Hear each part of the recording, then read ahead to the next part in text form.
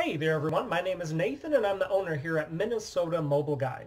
If you're not already familiar with us, we're a business based here in the U.S. state of Minnesota, but we assist customers from all over the world with all sorts of different issues and services on their smartphones, tablets, and other mobile devices. One of the services that our customers most frequently ask us to perform is the removal of the Google Account Lock security feature on an Android device, also known as the FRP lock. Here with us today, we happen to have a Samsung Galaxy Z Flip. So this is the one that flips into, just like the old school flip phones, and this is the first generation of that device. And this does indeed have the Google account lock enabled because as we can see here, as we're going through the setup steps, we get to the screen that tells us that the device was reset and to continue, we have to sign in with a Google account that was previously on the device. And that's basically what the Google lock consists of. Google added it back in about Android 5 or so as a security measure to help combat some of the theft and fraud that happens around the buying and selling of used mobile devices these days. So when you factory reset an Android device now, without first removing the Google account that's on it, it's then going to ask you to log into that same account again as a security measure after the reset is performed. So you won't be able to get in with just any Google account. It has to be the one that was previously on there. So we've been contacted by tons of customers asking us to assist them with this specific issue on this specific model, usually either because they themselves accidentally got locked out of their own device and couldn't remember or recover their login information, or because they were sold the device device by a dishonest seller who didn't tell them that the lock was enabled, and then obviously after the purchase, the buyer didn't have the login information and the seller had long since disappeared. It's a very common scam that happens these days with the buying and selling of mobile devices, unfortunately. So we're making this video to let any interested customers know that we do offer a service to be able to remove the specific lock from this device without having to have the previous login information.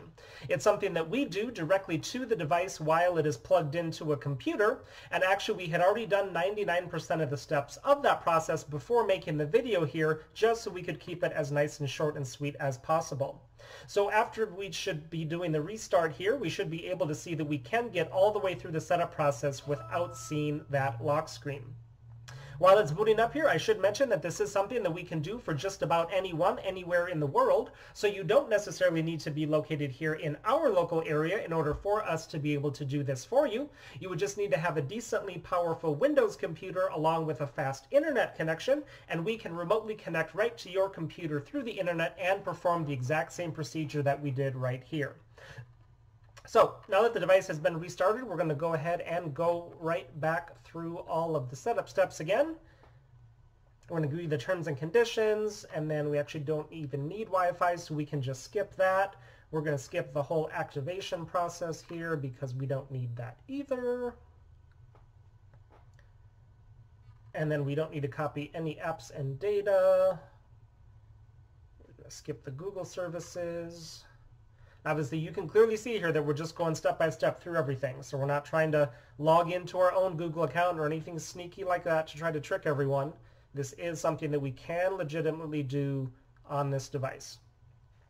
There we go. We are all the way through the setup steps here. We're at the home screen and we have full access to all of the apps and settings and features.